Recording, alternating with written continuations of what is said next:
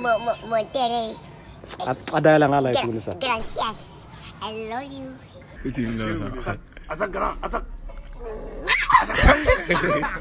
Para muchos este pequeñín es sinónimo de risas y diversión. Sin embargo, para él no ha sido fácil aceptar que solo por tener un aspecto diferente, la gente lo señale, critique e incluso se burle cruelmente.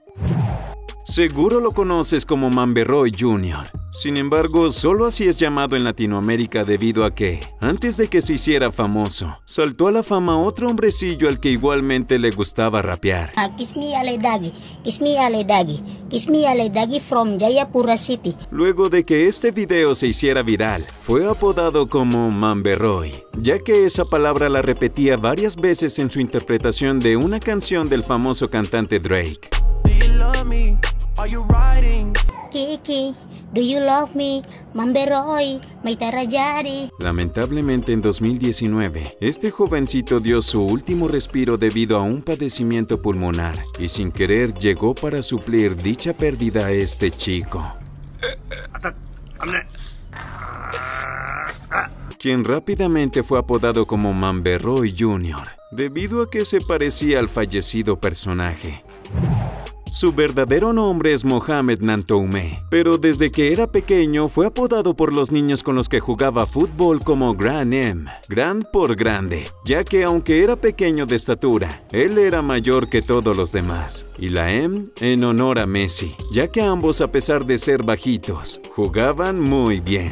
Y es que el principal sueño del pequeño Mohamed era convertirse en un gran futbolista que fuera reconocido a nivel mundial, tal como su ídolo. Sin embargo, no importaba cuánto se esforzaba y lo bien que jugara, siempre era rechazado por la misma razón, su estatura.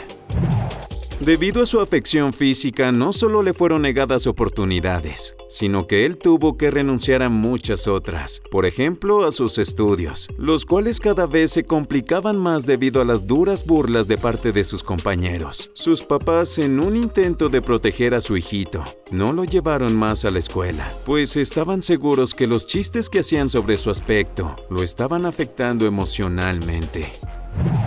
A pesar de que en su hogar Mohammed vivía rodeado de amor, fuera de su casa conforme avanzaba el tiempo, las cosas se complicaban cada vez más, pues ya no solo se reían de él, sino que comenzaron a faltarle al respeto físicamente. Harto de no poder relacionarse como los demás chicos, optó por ya no hacer caso a estos comentarios y comenzar a reírse de él mismo. Fue así como se refugió en el sentido del humor, decisión por la cual comenzó a ganarse el respeto, cariño y amistad de su barrio.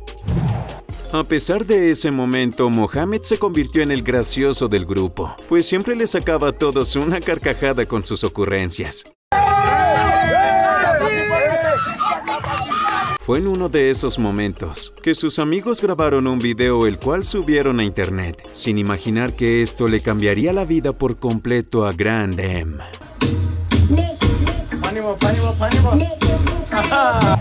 Las personas quedaron cautivadas por la simpatía de este nuevo personaje, a quien rápidamente bautizaron como Mamberroy Jr., ya que tenía cierto parecido con un chico que era apodado igual, pero que recién había fallecido. Ahora Junior estaba conquistando las pantallas de miles de personas alrededor de todo el mundo con sus gestos, acciones y su peculiar físico, y poco a poco se fue convirtiendo en una famosa figura del Internet. Al percatarse de esto, Mohamed no dudó en seguir creando el tipo de contenido que le gustaba al público. Fue así que comenzó a realizar videos graciosos, con los que atrajo cada vez más y más seguidores.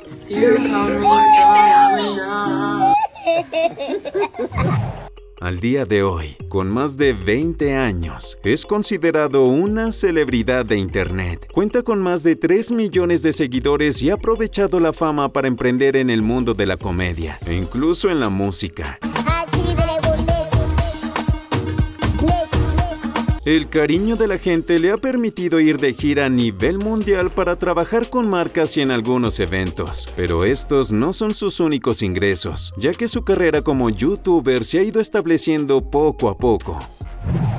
Desde el inicio de su vida, Mohammed estuvo rodeado de risas. Sin embargo, estas no lo hacían sentir bien, pues eran hirientes y crueles. Pero las cosas cambiaron drásticamente cuando, por decisión propia, optó por hacer reír a la gente, y gracias a esto alcanzó la fama a nivel mundial, algo con lo que soñaba desde que era un niño.